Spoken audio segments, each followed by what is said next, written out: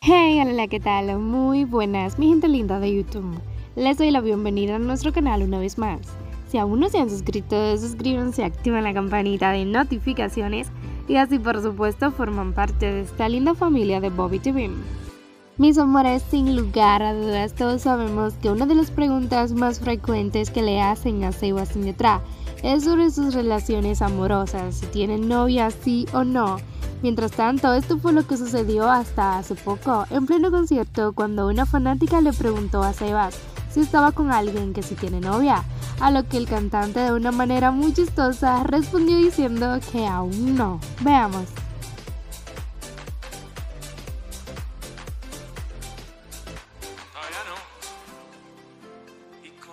Ahí estuvo Sebastián Yatra asegurando que no tiene novia. Déjenme saber sus opiniones al respecto en la caja de comentarios.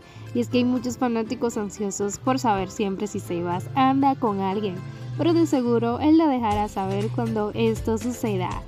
Por otro lado, chicos, cabe destacar que en estos últimos días Sebastián Yatra se ha mostrado muy emocionado y esto lo ha dejado reflejado en las redes sociales. Y es que recordemos que su canción Dos Oruguitas, la cual interpretó para la película de Disney Encanto, está nominada para los Globos de Oro y estos premios son muy importantes.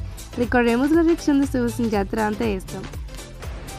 Bueno, eh, ando un poco desconectado estos días sin el celular pero tengo que hacer este video eh, porque ando súper mega agradecido con una noticia que nos acaban de dar y es que Dos Oruguitas Encanto está nominada a los Golden Globes y a los Critics Choice Awards. Estoy que tomo tu celular a, la Paula.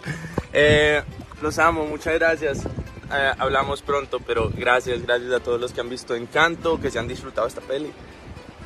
Chao, sayonara. Y estuvo ya déjenme sus opiniones al respecto. De mi parte, esto ha sido todo por ahora.